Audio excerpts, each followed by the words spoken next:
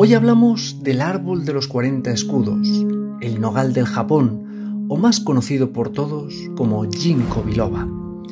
Se trata de un árbol único en su género. Se dice que es el único pariente vivo que existe a día de hoy, siendo un verdadero fósil viviente conocido que existe ya desde hace más de 250 millones de años.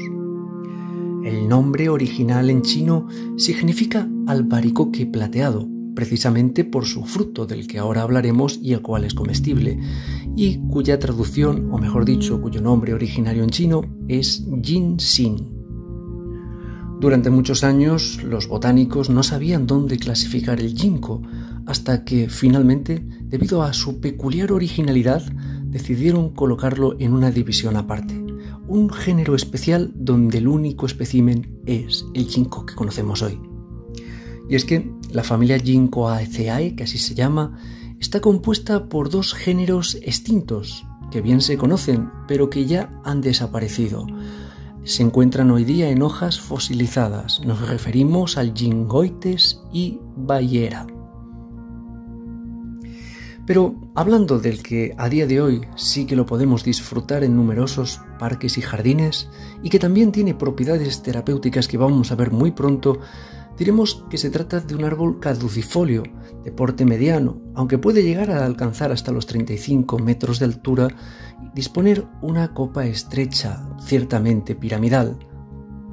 En todas ellas aparecen unas hojas de color verde claro que pueden llegar a los 15 centímetros de anchura, pero que sobre todo destacan por ser absolutamente planas y tener una forma muy peculiar y original formando nada menos que un abanico. En cuanto a sus flores, están agrupadas en amentos cilíndricos y en el caso de los femeninos, estas se encuentran en grupos de 2 a 3 y producen una semilla blanda de color marrón amarillento y de una textura carnosa que además es absolutamente comestible. Eso sí, tenemos que saber que al abrir esta semilla, este fruto, despide un olor a rancio debido a que contiene ácido butírico, pero enseguida se pasa y la podemos consumir sin ningún tipo de problemas. En general, este árbol es verdaderamente maravilloso. Todas las partes de la planta se pueden usar y se usaban especialmente en la medicina tradicional china y sobre todo sus hojas con unos fines que son verdaderamente sorprendentes. Y es que no es para menos, se descubrió que esta especie era muy longeva, habiéndose localizado algunos ejemplares con más de 2.500 años de antigüedad. Y es que precisamente en la explosión, lamentable explosión atómica de Hiroshima, atónitos descubrieron los habitantes que un año después, cuando todo había sido destruido, no había quedado absolutamente nada con vida, un viejo ginkgo biloba centenario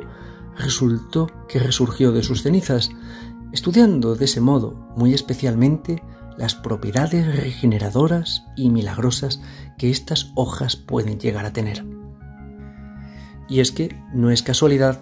que el extracto de ginkgo biloba posea flavonoides muy poderosos como los ginkoloides y los heterósidos, los cuales al ingerirse aumentan notablemente la circulación sanguínea central y periférica y como consecuencia de ello se hace mucho más eficiente la irrigación entre los tejidos y los órganos. De esa manera, especialmente las personas de edad avanzada,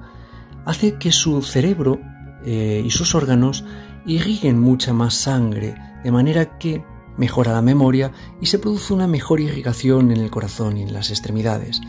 Pero no solo se recomienda para las personas de edad avanzada, sino que se recomienda para todo tipo de personas que sufran de mala circulación sanguínea, ya que es capaz de disolver la sangre, evitando posibles problemas como ictus, trombos o embolias. Incluso se ha podido comprobar que estos mismos flavonoides tienen una función antiagregante o antitrombótica, esto es que reducen la tendencia de que las plaquetas tiendan a aglutinarse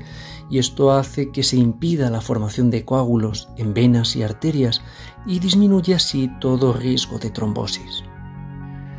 Tal es el grado de beneficio que tiene en este sentido que estos flavonoides ayudan y se utilizan hoy día para la recuperación de accidentes cerebrovasculares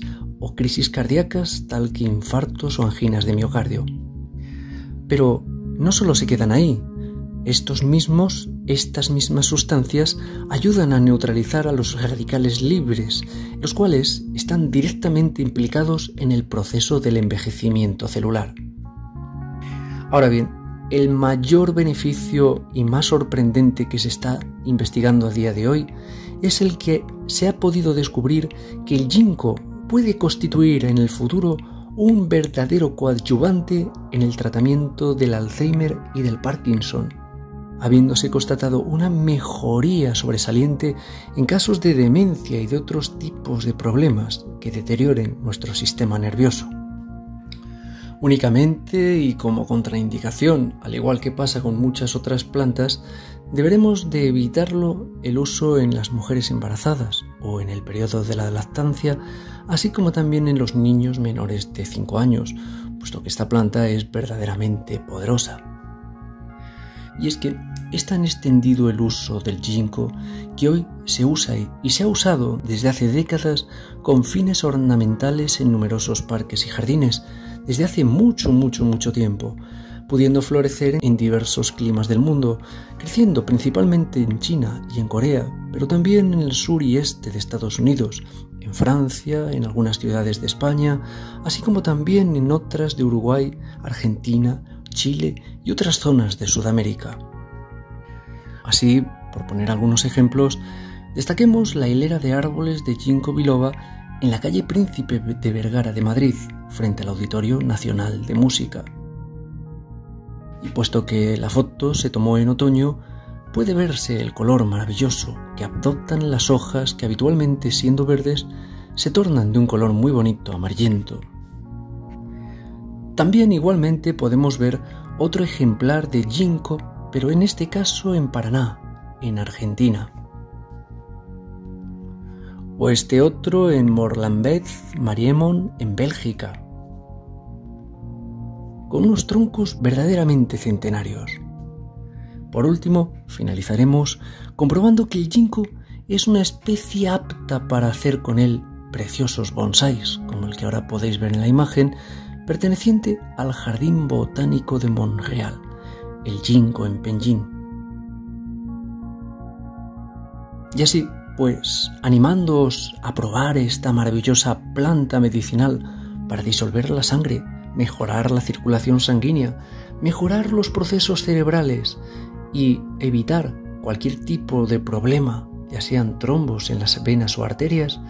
os recomendamos que probéis el maravilloso y poderoso Ginkgo biloba. Esperamos que os haya gustado este vídeo y nos vemos en un próximo.